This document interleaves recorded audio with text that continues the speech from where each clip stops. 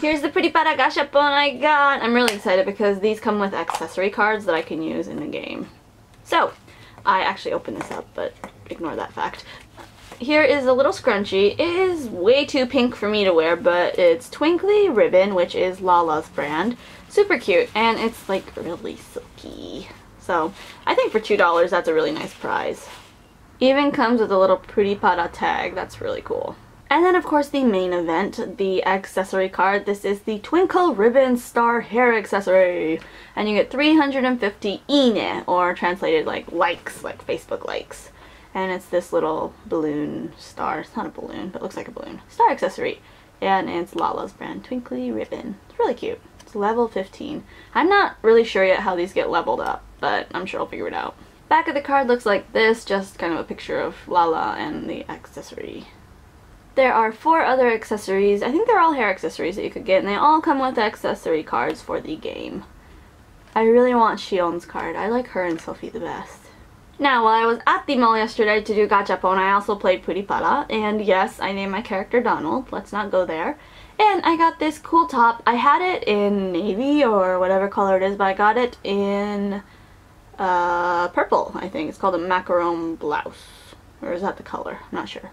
That's still cute, and I still don't have any team members, so if any of you guys play, let's trade friend tickets. I played a second time on the Christmas game, and I got the Twinkle Ribbon Christmas dress. It's really cute. It's a rare, and I wore my other dress that I got out of the Not Really Blind boxes, and I leveled up. I ranked up one rank. I am a Kakedashi Kenkyusei. This is from the same time I played, but I paid an extra 100 yen so I could print a gacha ticket, which is like a ticket that comes on top here. And I got the Christmas stockings too!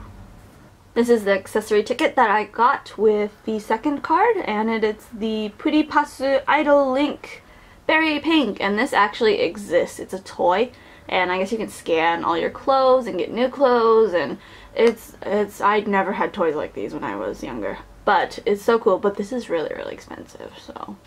If you trade friend tickets with me, I'll send you this one. It's cute. I'm still like a low rank though. When I played the Christmas game, I got Lala's friend ticket. It's her Christmas outfit, I believe. It's super cute.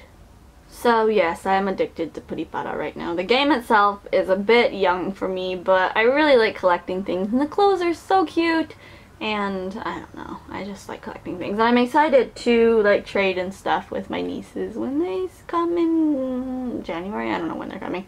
End of the year. But anyways if you watch PriPara or play PriPara let me know because it's my newest obsession. Anyway see you guys next time. Bye